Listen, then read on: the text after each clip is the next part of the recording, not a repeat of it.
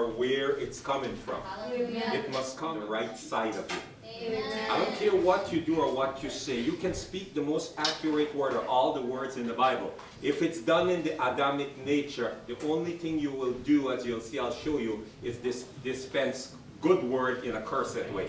It's like taking good meat and cooking it into a dirty pot. Mm-hmm. Right. But if you can speak clean words in the in the renew side, then life is administered through this word. Amen. It's why Christ said, My words are, amen, is life and spirit, or spirit and life. He got, but the flesh come for nothing. If you utter it from the flesh side, you contaminate it. Mm-hmm. But like the Lord tells Jazzy, come, no, get out of this side, stand on this side. Remember, it's not just what you do. You have to remember where you are standing or who you are being. It's even more important. Today we're hoping to finish off man's fourfold condition. Man didn't choose this position. God, de- the man chose and fall into it, but God decreed it. God said when you look at man in his present state after the fall, man had become weak, he said. Man had become ungodly. He said man had become a sinner, and man became an enemy, amen, of the kingdom of God. Mm-hmm. This was the fourfold condition. The depiction of God when he look at man, he got, look what you have become. Mm-hmm. How you have fallen so low. Ye who is made in the image and the likeness of God has become so ungodly. Ye who was made to do tasks ordained by God that was strong has become so weak. And you, he who was established in righteousness, amen, has become a sinner, breaker of the law. Enemies of the constitution. Last week we had looked at Deuteronomy 21, 22, and 23. And Deuteronomy 21 to 23 said, If a man commit a sin worthy of death and he is killed and hang on a tree, you understand? The man is cursed and the whole land will be cursed. So you go bury him before the afternoon because the whole land is going to be cursed. The sin he commit is a cursed sin. If not, he would not have died.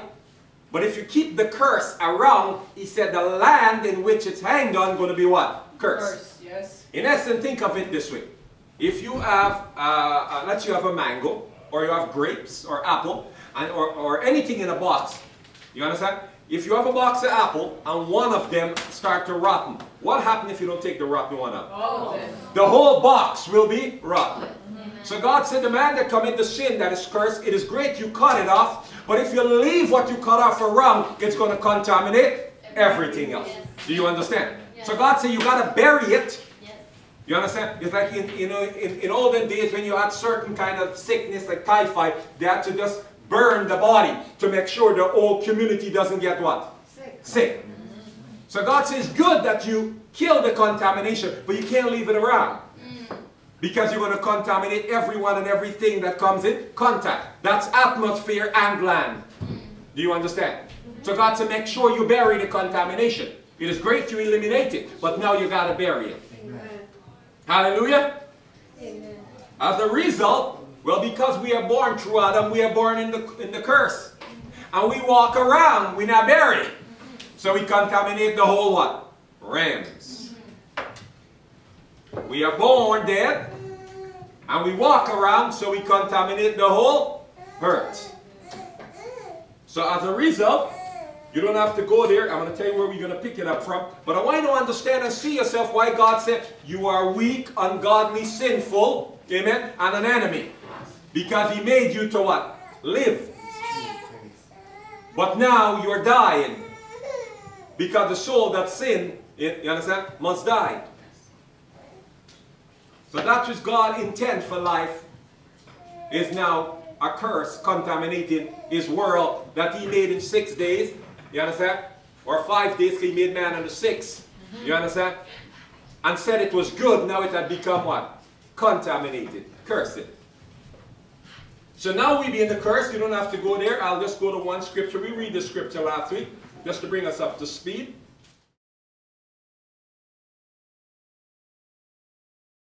God see us in this state now as just a cursed being. The scripture read, Christ purchased our freedom. Because remember, something that commit a sin, you understand, of a curse magnitude, or a sin worthy of death had to die. But not just die, it has to be buried so it doesn't what? Contaminate everything.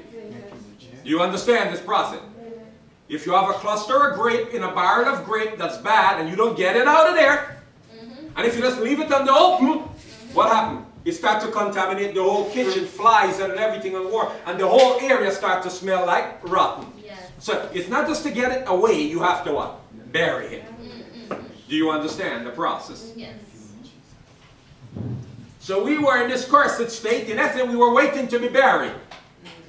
We were waiting to be buried. So the Bible said in Galatians 3, 13, Christ purchased our freedom, redeem us from the curse. We were in a cursed state, waiting to be buried. Because when you come in the sin of death to be cursed, you understand, you have to be buried, or if not, you continue the contamination, which is what Satan technique was. Hmm. From the first man is contaminated, all Satan does get, get him to move through the whole barrel of grape. Yeah. So everything then that comes in contact with him, and because we all pass through him, everyone has become what? Cursed. Contaminated. Hallelujah. And then he turned to God, you know, you have to destroy the whole human creation. The whole human creation is like they have typhoid, has to be burned. His technique was brilliant. God had to find a way to sanctify us, meaning get the infection what? Away from us. Yes. Do you know what he do? Did he um, did he separate the infection from us? No. The man. He atoned for the effects of the of the infection, but then he gets rid of what? The whole human race. God has a new race. That's what he was talking to Jackie about. He reborn you Yes. without the what? Typhoid. Yeah. Yeah. Without the curse. Do you understand? You see, we look at ourselves from the physical side, but God looks at us from the spiritual side. Amen. And what God was looking, was his spirit still alive? Yes. No. Once man was fall, the spirit man was dead. The soul was in the body, but not the way of God made it.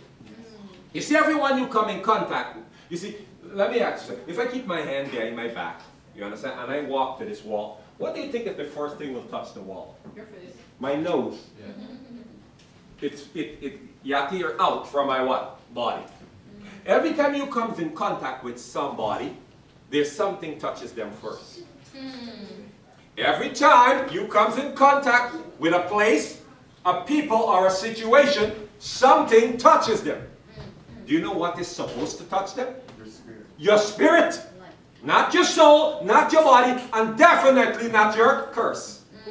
Are you listening to me? Amen. So from God's perspective, he goes, you're touching my rams and each other with curse. And soulishness. And flesh. Yes. And that which I am, I am a spirit, and I made you in spirit to be in the image of the Father, the Son, and the Holy Spirit. That in touching what? Anyone or anything. When you are reborn out of from the curse, when you touch someone, the first thing God wants to touch them is what? Spirit. John 6, 63. The flesh counted for nothing. The word I speak, it's spirit and life and truth. Hallelujah. Glory. Amen. God wants when you, so when you speak a word, what God wants, the word must come from is spirit. And when you do a thing or get in a situation or a circumstance, what's suppo- where it's supposed to flow from is spirit. Mm-hmm. Amen. This is why you're reborn. You're reborn to get your spirit man to come forth. You know, I was sharing this with my wife and my niece this morning. Once God have regenerated spirit and the indwelling spirit start to reinforce and strengthen you in the man, the indwelling spirit indwell and Christ abide, then he have two major tasks. One to keep reinforcing you, keeping you sanctified clean. And the second one is to break the outer man. So that anyone or thing comes in contact with you, they comes in contact with your spirit. Hallelujah. There are many things goes on in many of your life. Because God used people, things, and situations. You understand? And the only reason these things are going on in your life, it's to break your outer man so the spiritual man can protrude. Amen. Amen. Yes. Amen. Amen. Do you understand? Yes. You don't want no one comes in contact mm-hmm. with the cursed man. Yes. Mm-hmm. So the Holy Spirit organize a series of situation and people and things to break the outer man. Yes. Thank you, Lord Jesus. Because only when the alabaster jar is Yes, broken, the spikenard can. Yes. Come on. Preach. Thank you, Jesus. I heard someone say this recently. He said the most beautiful thing before God is a broken beam. Yes. Because in the brokenness, Yes. then the spikenard can come Yes. forth. I got broken before him. Yes. God loves when the alabaster jar is broken. Amen. Gotta go empty. Hallelujah. Glory. Because the regenerated, reinforced, Yes. strengthened, indwelling spirit can what? Protrude. Hallelujah. There's nothing stops him more Amen. than your natural life. Hallelujah. Thank you, So then it Jesus. is Thank you. you.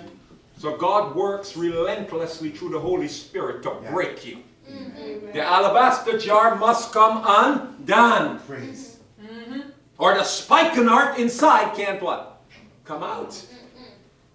There's so many of you, Paul said it in 2 Corinthians 4.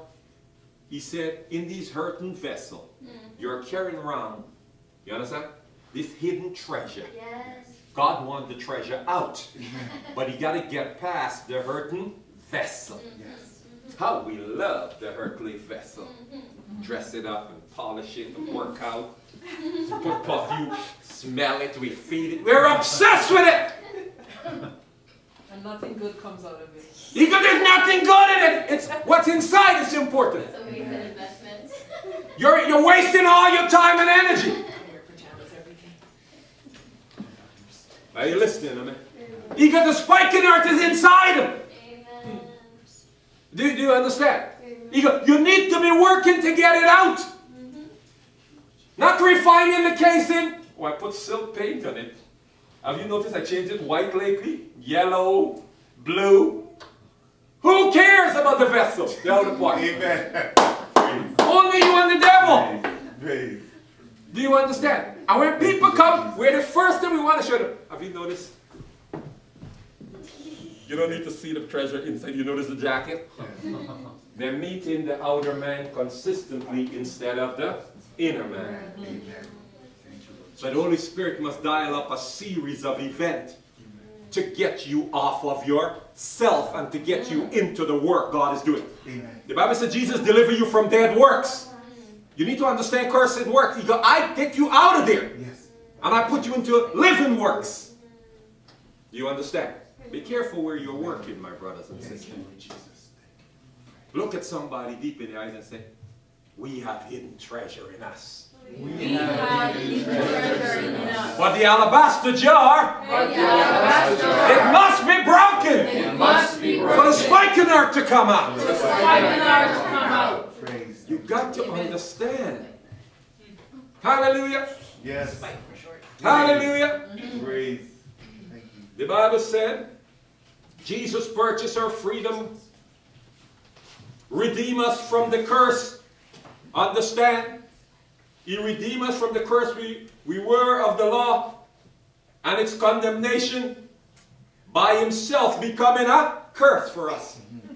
So Jesus substitute, he go, I will become the curse that's supposed to be buried, mm-hmm. go in the tomb. You understand? Mm-hmm. So you can become the blessed. Blessed. Wow. Thank you, Lord. You were set to be buried. Yes. Jesus said, I will take on the curse. Take it on. So, so, so you have to God have someone to bury. Yes. So you can what? Live. Praise. Thank you, Lord. Something that cursed, just like God said, you gotta bury that thing or you're gonna curse. You were see that's it. Once you remain a curse, you're cursing the land, your family, your friend, anything you touch. You're like Jonah. If you go on a boat, the whole boat is cursed. You come in a workplace, the whole workplace is cursed. You get in a relationship, the whole rela- you get some money, the money. You get in a conversation, the conversation is cursed. Oh, Lord have mercy. Thank you, Lord Jesus. You become known as the guy. Anything you say or anywhere you go, things goes bad. The guy is humanity. Praise. Are you listening? Thank you, Lord Jesus. You're a Jonah walking around. Hmm. Except you're not typically honest like Jonah. Jonah knew he was a curse at that point. Okay, now listen. Jonah, go, if you throw me over, everything will be fine. When the people normally go, why are things going bad? You go, I don't know. I wonder who's doing it. It's you. Yes. Amen. We pretend we go, I don't know, I don't know maybe it's Pastor Chuck, maybe it's Jack. No, it's you! You are the curse that's not been redeemed yet. Yes. Amen. Do you understand? Yes. We blame everyone and everything. Oh, this is just a bad time. Oh, it's the weather. Oh, it's um, I don't know, um, the road. The moon. It's you! It's Amen. Then we go, you just don't understand my words. You know, you're just not like me. No, you are the curse. Everything about you. Your words, your present, the very fact you're alive, that's the problem. You're supposed to be buried. Hallelujah. That's why we and God does have issue. God said, don't present the curse to me. I will bury it. Yes. You better appear to me as a new creation. You. You see, when I look at you, I better see resurrection. Amen. Amen. Thank you. Then we better be just working on to get it out of here. But please don't bring Adam in front of me. Are you listening to me? My God's grace. Jesus became the curse, for it is written in the scripture, curses everyone, is it someone? Everyone who hangs on a tree. Yes. Glory. Everyone. Yes. Creation, every man that comes through Adam is what? Curse. To be hanged on a tree and buried before. You see, they say hang on a tree to signify to know that you're, you, you're a curse. But then you got to get rid of it before it contaminates everything. Satan's plan was brilliant. He just, he's just waiting for God. Come on, you got to bury them. The whole earth is contaminated. He had lose his estates. He go, you get rid of them, we can move right back in. We'll take care of it for you. Thank God he had a different plan. Mm. We had also read John 19:30 after Jesus died and atoned for us and buy back our freedom. He got it's finished. Yes. All of humanity is no longer under a curse. You Praise. It's finished. It's done. Thoroughly done. I became the curse so humanity can be free. The question then becomes free to do what? I love William McDonough. He goes, free, free from the curse. Tell somebody you're free.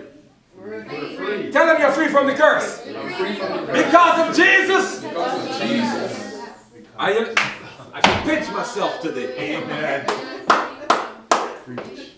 Some say you don't know how to worship. You really don't know the truth must be. Yes. If you know the truth, you can't help yourself but worship. Hallelujah. I went with my sister this morning. She's bathing and worshiping, yelling at her. She's worshiping so much she didn't hear me all yet.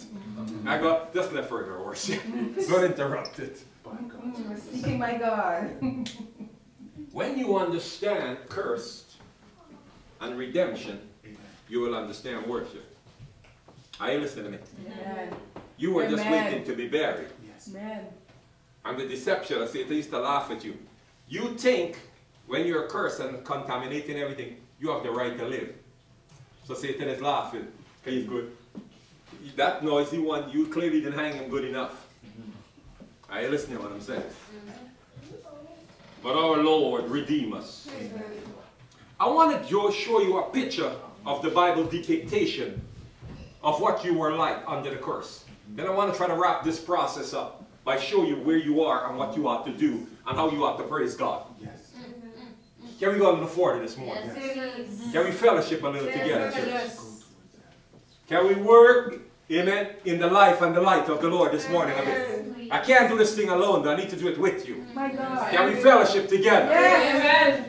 Amen. Can we fellowship on our Father's truth and kingdom? Amen. After all, you're not a curse. Mm-hmm. Amen. Amen. Can we dine at Jesus' table for a few moments? Hallelujah. We were invited into the banquet because our Lord became the curse and was buried. Amen. Hallelujah. Amen? Amen. You see, and he didn't stop there. Because he resurrected, we are encouraged.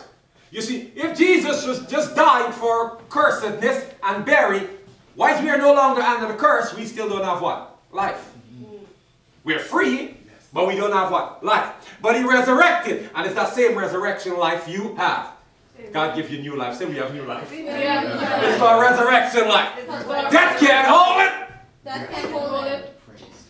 Remember what resurrection is. Resurrection is the life that can go into death and come out. Nothing except no other force other than resurrection have ever entered death and what? Come, out. The Bible says when you go into death, death is so strong, nothing can ever what? Come out. Mm-hmm. That don't care when you die. You go, but I have little babies. You go, that has nothing to do with me. Mm-hmm. I got you. Mm-hmm. Thank you. You can't go, I have good works in the other world. That go, I don't care. Do you understand? You can't go, I had unfinished business. That go, I don't care. Yes. Only resurrection power go, whether you care or not that I'm coming out. It can't hold you. Amen. Wait. Hold you down. Could not hold you down. You are the risen Lord. This is where when Meshach, Meshach, and Abednego was in the clutches of death. There was a folk man in the fire. And they come what? Out. Mm-hmm. That will let you out unless resurrection life is what? Amen. Amen. Hallelujah. Thank you, Let me show you something. Yes. Charles is going to bring this up. I want to show you the Bible draw a picture of what it's like to be in the curse. I want to show you the state and why we worship God. Ezekiel chapter 16 from verse 4 to 11. It is very important to understand because it is wrong for you who is out of the curse to speak into your life or any other one life as a cursed being. Are you listening to me? That which Jesus became a curse and was buried, it is wrong, wrong for you to put it on yourself or anybody else. Are you listening to me, church? This is why the Bible said, be careful. The Bible said the tongue hold life and death. And if you can't control your tongue, you ain't going to control no other part of you. In this town, you better make sure where Jesus has positioned his church and speak in alignment with his church. Are you listening? Including in your own life. If not, you're trying to speak against the works of Jesus. I read Ezekiel chapter 4. Charles, are we up?